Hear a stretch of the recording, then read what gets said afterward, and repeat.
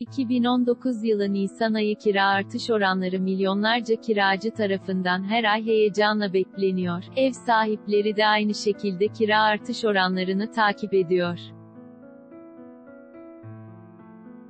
3 Nisan 2019 tarihinde açıklanacak olan 12 aylık tüfe ortalaması aynı zamanda Nisan ayı kira zam oranı olarak uygulanacak. Nisan 2019 itibariyle kira sözleşmeleri sona eren ve Mayıs ayı itibariyle kiralarını zamlı olarak ödemeye başlayacak olan kişileri ilgilendirecek. Ev sahipleri kiracılarına en fazla bu oranda zam yapabilecek. İmzalanan kira sözleşmesinde belirlenen bir kira artış oranı maddesi bulunuyorsa bu oran geçerli olacak. Peki Nisan ayı kira artış oranı açıklandı mı? Kira artış oranı hesaplama nasıl yapılır? İşte detaylar Nisan 2019 kira zam artış oranı ne zaman açıklanacak? 3 Nisan 2019 tarihinde açıklanacak olan 12 aylık tüfe ortalaması aynı zamanda Nisan ayı kira zam oranı olarak uygulanacak. Nisan ayı kira artış oranı, Mart 2019 itibariyle kira sözleşmeleri sona eren ve Nisan ayı itibariyle kiralarını zamlı olarak ödemeye başlayacak olan kişileri ilgilendirecek. Ev sahipleri kiracılarına en fazla bu oranda zam yapabilecek. İmzalanan kira sözleşmesinde belirlenen bir kira artış oranı maddesi bulunuyorsa bu oran geçerli olacak. Böyle bir madde bulunmuyorsa bu durumda ev sahibi kiracısına en fazla açıklanan rakam dahilinde zam yapabilecek. Bu orandan fazla zam yapılması kanunen yasak olurken bu rakamın altında bir oranın taraflarca ortak olarak belirlenmesi durumunda uygulanmasına ise müsaade ediliyor. Kira zammı nasıl hesaplanır? Yeni ekonomi programında yer alan tedbirlerden biri gayrimenkulde kira artış oranını doğrudan etkiliyor. Ev sahipleri artık zamları üretici fiyatından değil, tüketici fiyatından yapabilecek. Programın enflasyon bölümünün politika ve tedbirler başlığı altında kira artış oranına dair üst sınır, döviz kuru ve emtia fiyatlarındaki gelişmelere duyarlılığı yüksek olan üretici fiyatları yerine tüketici fiyatlarına göre belirlenecektir maddesi yer alıyor. Normal şartlarda 12 aylık ortalama yurt içi üretici fiyatı, YÜFE, artış oranı ile belirlenen kira zammı üst rakamı yeni düzenleme yapılması ile birlikte TÜFE ile belirlenecek. Ağustos ayında 12 aylık üfe gerçekleşmesi %18,78, tüfe gerçekleşmesi ise %12,61 olarak kaydedilmişti. Bu da oturduğu ev için 1000 lira kira ödeyen tüketicinin, zam zamanının Ağustos'a denk gelmesi durumunda Eylül'de 188 lira zamlı ödeme yapacağı anlamına geliyor. Şayet tüfe oranından zam yapılsaydı bu rakam 126 lira olacaktı. Kira zammı hesaplama örneği mevcut kira bedeli, 1000 lira zam oranı, %17,16 zam bedeli, 171 lira zamlı kira bedeli, 1171 lira konut kirası, 1000 lira TÜİK TÜFE Şubat 2019 kira artış oranı, %17,16 Şubat ayı kira artış oranı tutarı, 171,60 lira Şubat ayı kira artış oranı dahil yeni zamlı kira tutarı, 1171,60 lira aylara göre kira artış oranı 2010 2018 Ocak kira artış zam oranı %15,82 2018 Şubat kira artış zam oranı %15,66 2018 Mart kira artış zam oranı %15,50 2018 Nisan kira artış zam oranı %15,35 2018 Mayıs kira artış zam oranı %. 15,36 2018 Haziran kira artış zam oranı %15,80 2018 Temmuz kira artış zam oranı %16,57 2018 Ağustos kira artış zam oranı %17,41 2018 Eylül kira artış zam oranı %18,75 2018 Ekim kira artış zam oranı %21,36 2018 Kasım kira artış zam oranı %23,73 2018 Aralık kira artış zam oranı %25,52 2019 Ocak kira artış zam oranı %27,01 2019 Şubat kira artış zam oranı %17,16 2019 Mart kira artış zam oranı %17,93 Geçen ay kira artış oranı ne kadar oldu? 2019 Mart ayı kira artış oranı belli oldu.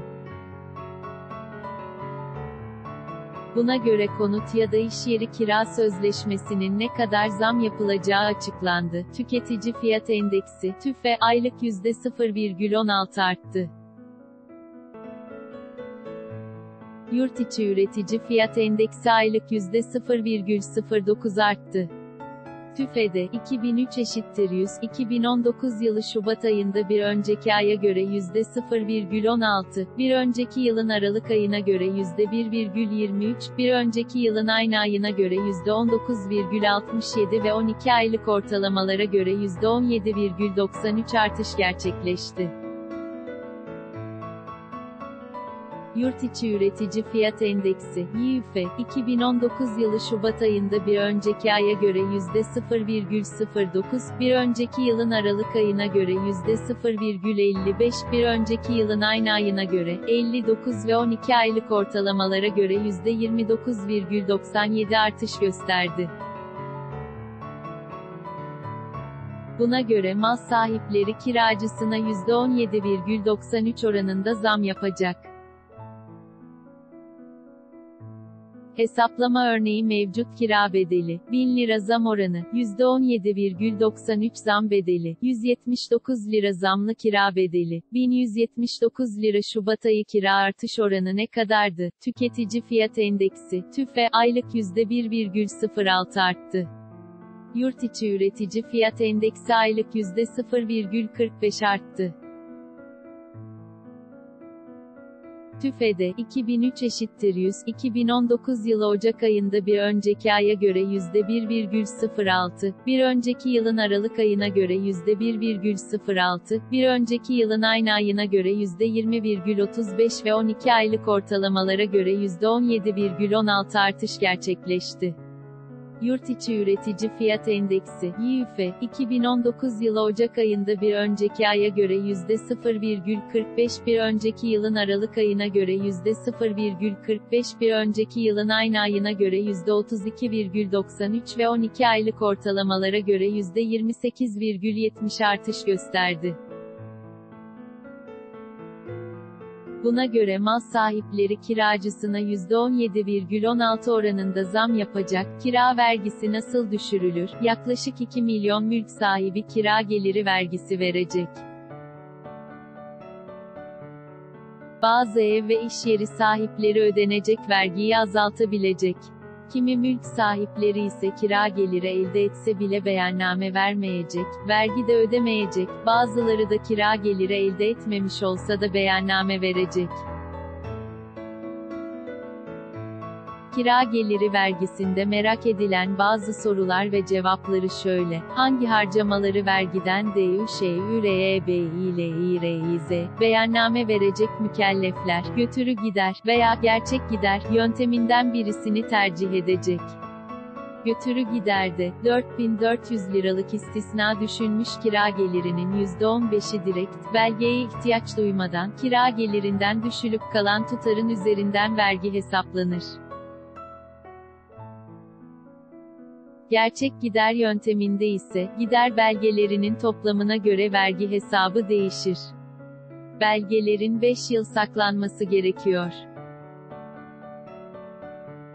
Kiraya verilen konut son 5 yıl içinde satın alındıysa, evin satın alma bedelinin %5'i, evini kiraya verip, kendi kirada veya lojmanda, yurt dışında oturanlar dahi, oturanlar, oturdukları evin kira bedelini, kira geliri elde edilen konut için ödenen aydınlatma, ısıtma, su, asansör, sigorta, onarım, bakım, idam ve idare giderleri, sözleşmeye, kanuna veya ilama istinaden ödenen zarar, ziyan ve tazminatlar, kiraya verilen edilen mal ve haklar dolayısıyla yapılan ve bunlara harcanan borçların faiz giderleri, konut için vergi, resim, harç ve şerefiyelerle kiraya veren tarafından belediyelere ödenen harcamalara katılma payları, amortisman giderleri, konut ile ilgili ödenen zarar, ziyan ve tazminatlar, belgelenen eğitim ve sağlık harcamaları, bağış ve yardımlar, sponsorluk harcamalarının belli yüzdesi, bireysel ödeme sistemi ile konut sahibinin kendi ödediği prim, SSK,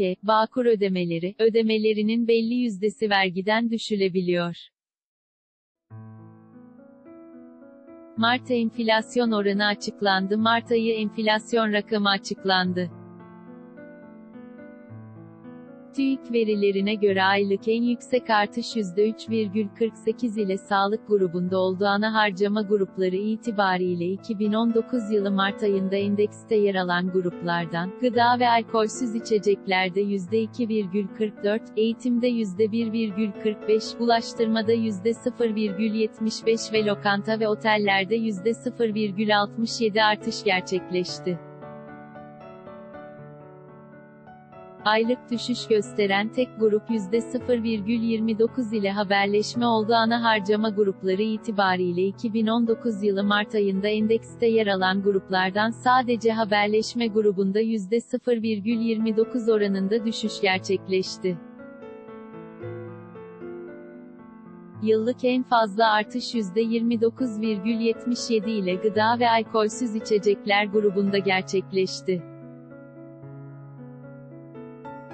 TÜFE'de, bir önceki yılın aynı ayına göre çeşitli mal ve hizmetler %27,94, ev eşyası %26,98, eğlence ve kültür %20,08 ve sağlık %19,72 ile artışın yüksek olduğu diğer ana harcama grupları olarak dikkati çekti. İşlenmemiş gıda ürünleri, enerji, alkollü içkiler ve tütün ile altın hariç tüfede 2019 yılı Mart ayında bir önceki aya göre %0,28, bir önceki yılın Aralık ayına göre %0,31, bir önceki yılın aynı ayına göre %17,72 ve 12 aylık ortalamalara göre %18,15 artış gerçekleşti. Mart 2019'da endekste kapsanan 418 maddeden, 33 maddenin ortalama fiyatlarında değişim olmazken, 270 maddenin ortalama fiyatlarında artış, 115 maddenin ortalama fiyatlarında ise düşüş gerçekleşti.